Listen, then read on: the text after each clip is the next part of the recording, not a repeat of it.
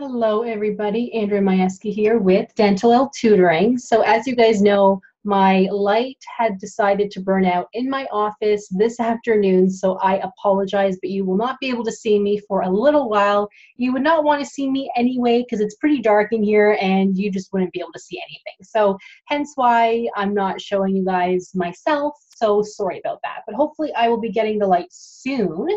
But we will be talking about the rubber dam for the board exam that actually seems to rhyme. I did not do that on purpose. and things that you have to know for the board exam, okay? So the biggest thing is that rubber dam is latex. They do have non latex rubber dams. It's probably three times the price. It comes in like a pack of six opposed to like a pack of 30, but there are non latex um, types out there. They they did ask that on a board exam. Um, it was a board exam question last September, and I believe it was in a case study form that somebody told me where the patient's allergic to latex. Can they have a rubber dam or something like that?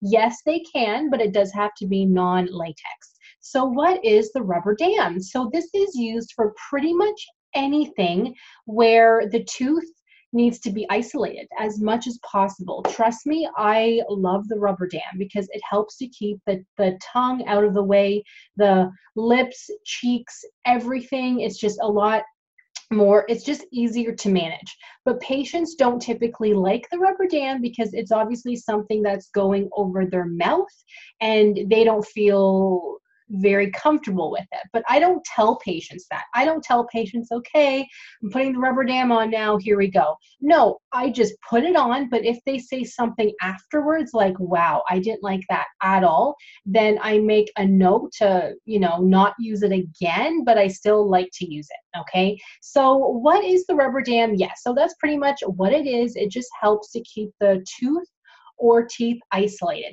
The rubber dam is needed if you are doing endo because you will be using sodium hypochlorite hypochlorite. Oh my goodness my mind is is um, drawing a blank right now but that is why you do need it for endo. In fact i'm going to write that down on the next slide. Let me just write that down here guys. Sorry. So rubber dam is needed for endo because of the bleach solution, okay? It is needed for endo whether they want it or not.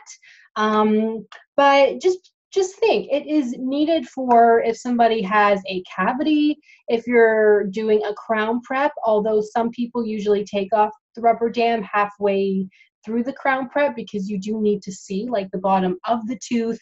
Um, basically, any procedure. I'm just trying to think of them all right now. So my mind's kind of drawing a blank, but just to keep the tooth isolated, okay? Because if you're doing anything where the tooth needs to stay as dry as possible, well, the rubber dam is the way to do that.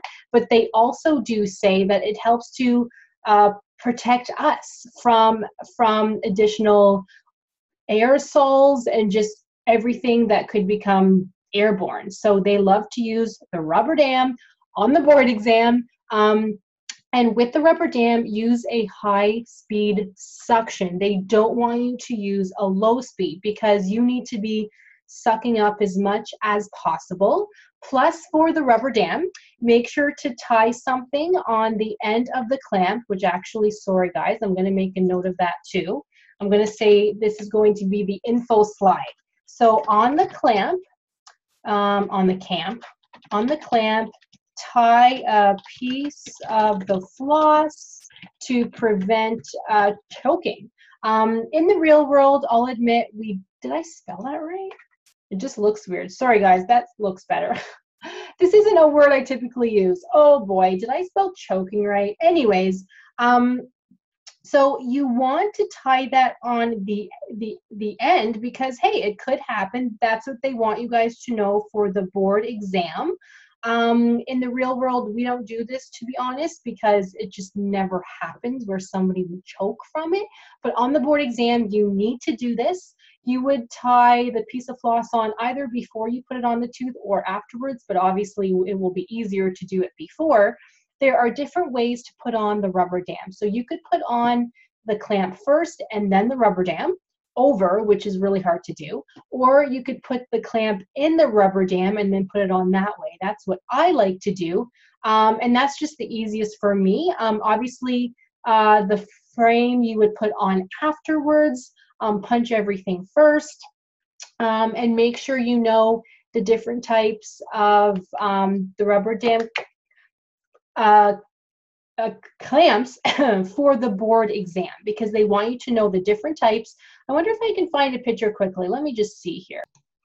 Okay, everybody, so this isn't really the best picture, to be honest. This was the only one that I could find quickly, but this actually does help. So make sure to know, for example, the, the 2A.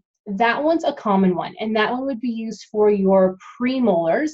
The 4 would be a molar, um, and it it really depends on which office you are in. Like, for example, we would use one that was a 12A and a 13A. So those would be used for the molars, but I don't even see that here. So it really does depend on what office you are in.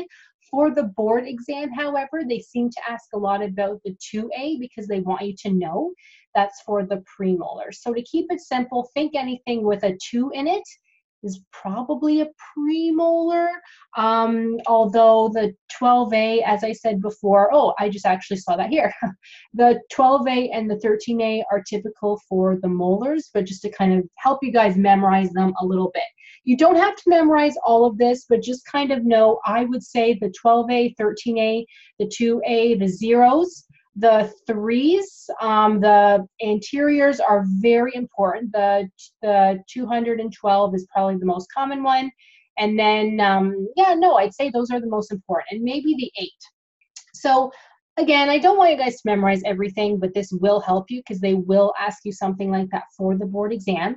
You need to know for the board exam, let's say you're doing a filling on the 2-7 you should be putting a clamp on the 2-8 and then isolating the teeth in front of that. Now, if a patient does not have a 2-8, then you would obviously have to put the clamp on the 2-7. But always think, um, think of the tooth you're doing the work on and you want to clamp behind it. Otherwise, the tooth will get in the way. Um, or uh, sorry, the, the uh, clamp will get in the way. I don't know why I said tooth. Sorry, guys. The clamp will get in the way, but if there's obviously not a tooth behind it, you don't have a choice, right? So then you will have to clamp that tooth. So that's very, very important to know for the board exam. Um, when you are to isolate the teeth, you want to go all the way over to the anterior. So if you're, say you're working on the tooth 2-7, you want to clamp the 2-8 and isolate the the teeth all the way to the 1 1.